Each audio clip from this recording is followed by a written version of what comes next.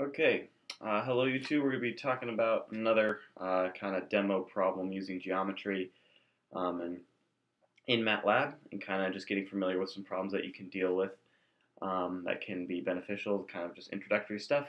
So we're going to be looking at this problem here. Um, we have a volcano and we have um, the top uh, width to be 180 meters, the bottom is to be 1650 meters and we also have the height, which is 1700 meters. Um, we know that the density of the volcanic rock is 2900 kilograms per meter cubed.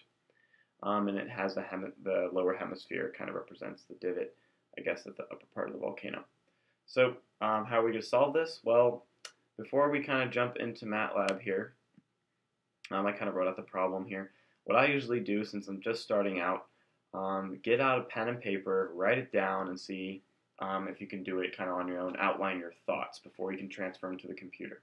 So first, I wrote out the given information here, and brown represents the volcano, um, and it was given the height to be 1700, so I wrote all this information here.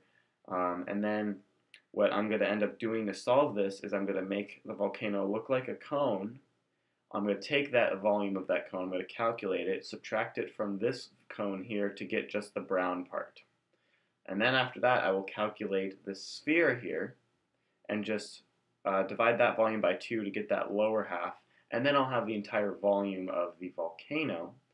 From there, I can find the mass of the volcano by the density that is given.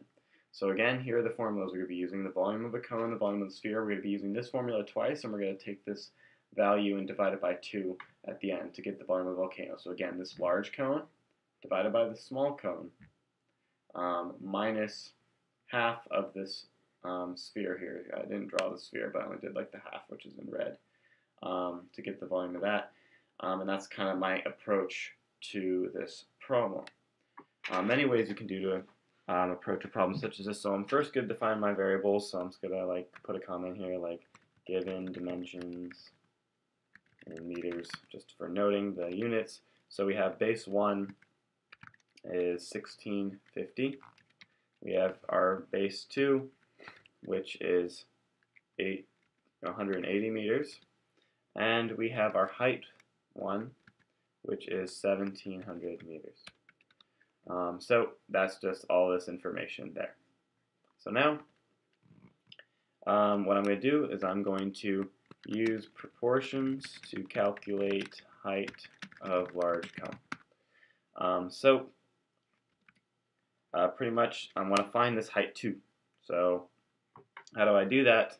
Um, I simply take the base. I was like you're setting up the fraction, so the base to the bottom.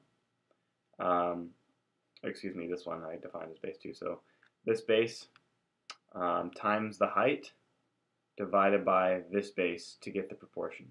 So to do that, I'll just put that in here. If you set up the proportion on paper, it'll be way easier to see. Um, unfortunately, I didn't do that in the video or in my scratch work, um, but that's how you would do it.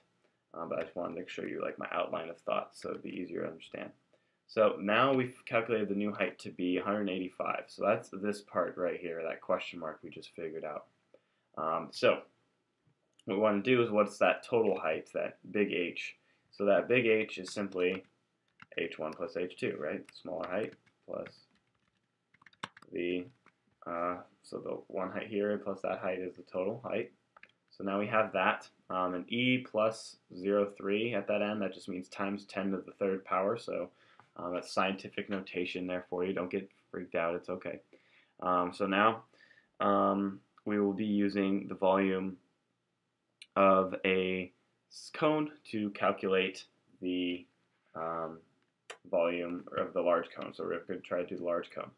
So, but first we want to get that the radius is the radii, I guess. Um, so this we would take our first um, base and divide it by 2 to get the radius.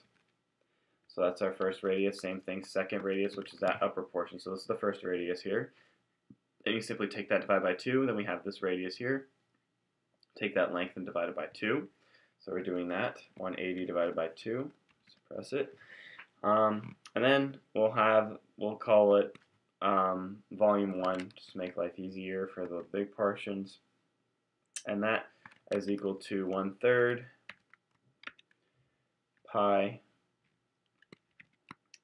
um, R1, because that's what we're dealing with, the larger cone, squared, squared, times the big H height. That's using the volume of a cone to calculate that value, and we get this is our large cone. But we don't want the large cone, we want to um, figure out what just this brown part is. So we have this huge one now, but we need to subtract this portion, so we need to find out what that is. So we'll call that um, volume 2. Same thing, 1 third times pi times the radius 2 now, uh, squared times, but now it's going to be h2 because it's this little height here. And we get that, and we have the two volumes. So now we'll say um, volume 3, since it's not the volume of the volcano quite yet, um, but volume 3 is just going to be the brown part now is what we're looking for. Um, so that would simply be our bigger volume, which is volume 1, minus our smaller volume. Um, and that is now the volume we just calculated of the brown part here. Um, so there is a lot of finesse you can do here by putting all the comments, but um, I'm going to just refrain from that just for time purposes and uh, keep moving on with the calculations. Um, so now we need to find the volume of the sphere here, so this red portion. So we're going to only want half of it, but first we'll just calculate the full thing of the full sphere. Um, the radius we already have here is at 180 over 2. So that's going to be the same radius, and the formula for the volume of a sphere um, is 4 thirds. 4 thirds pi r, um, and our r2 is what we're going to be using, because that was the uh, one that we want, cubed. So then we have that, and that is the volume of the sphere. Now we want just the volume of the lower hemisphere. So I guess I'm kind of being weird now by using actually spelling things out. Um, but um, so that would simply be the sphere divided by 2, and then we get that lower portion. So now we want to find the volume of the volcano. So that is simply the calculated weight value, which was our V3, which is that brown portion minus the lower half or the lower hemisphere of the sphere, which we calculated to be volume lower hemisphere. Um, and that was the volume of the volcano now. So we got that down. Um, so we're happy about that. Now that was the end of the problem for the volume of the volcano. Um, and note the measurements are in meters cubed, I believe. But now the next question part of it says, um, what's the mass of the volcano? And we have the volume now. We just calculated that um, and it's given that the density is in kilograms per meters cubed. So simply to find the mass of the volcano, you take the volume of the volcano times the density of the volcanic rock. But I just realized we didn't define the density of the volcanic rock, so that wouldn't work. So let's define the density. Um, I'll just put it as density to be 2900.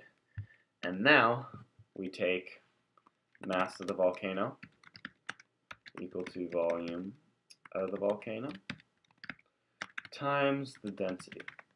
And boom, that is our mass in kilograms. That's quite a heavy volcano. Uh, makes sense. Um, so that is pretty much your calculations here. Um, um, pretty much that's it. Uh, using MATLAB, using math to MATLAB. So using your math here and having MATLAB being your handy dandy tool to help you out. Um, it's really interesting getting familiar with the codes and stuff. Um, I'm just starting out too, so um, kind of hoping I could help you guys out as well, well as I'm learning. Uh, so hope this was helpful and stay tuned for more videos.